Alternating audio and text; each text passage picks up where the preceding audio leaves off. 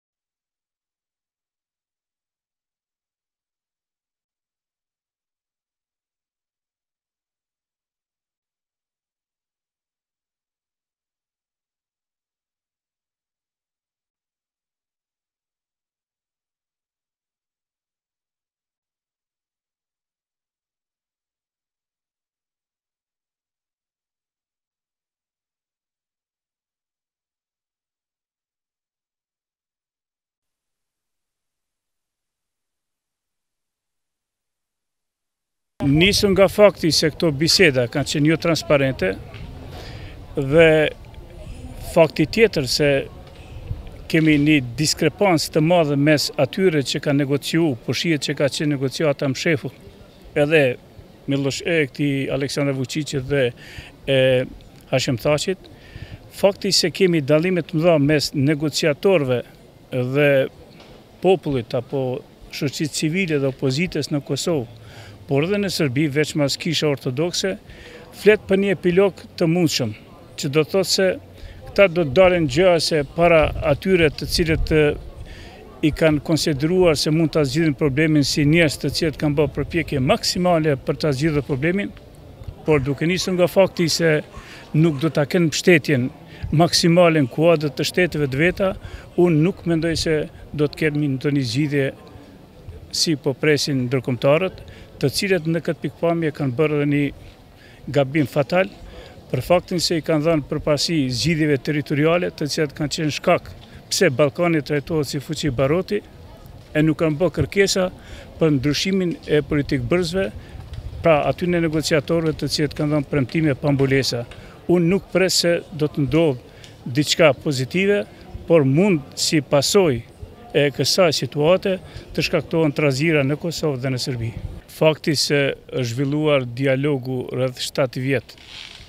për gjëja se çështje teknike dhe i njëjti dialog ka pretendime që të përfundojë me kërkesa territoriale etnike, tregon se Në pyetje kanë qenë shtatë vite të humbura. Argumentet plotësuese japin edhe pala shqiptare dhe serbe, pala shqiptare me faktin se si e ka trajtuar Gjuriçin, i cili ishte një nga negociatorët me atë skandalin medial, ndërkaq pala serbe me faktin se si i ka frikësuar Ish-anëtarët e FSK-së duke i thënë se do të dënohen me vite nëse mbesin në FSK. Qëllimet e dy palëve nuk kanë qenë të sinqerta dhe po shihet me faktin se tash po flitet me pretekstin e eufemizmit për korrigjimin e kufijve për shkëmbim të territoreve. Dhe në pyetje pra nuk është nevoja që të bëhet as shkëmbimi i territoreve, as korrigjimi i territoreve, për faktin se humbja e besimit të serbëve në Kosovë nuk ka qenë për shkak të territorit, as humbja e besimit të shqiptarëve në Preshevë dhe Bujanoc dhe Medvegjë nuk ka qenë për shkak të territorit, Po ka qenë për shkak të politikëbërjes në Serbi dhe në Kosovë. Pra, definitivisht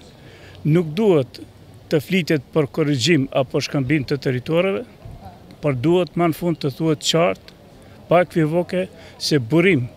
i zgjidhjes së problemit është ndërrimi i pushteteve në Kosovë dhe në Serbi.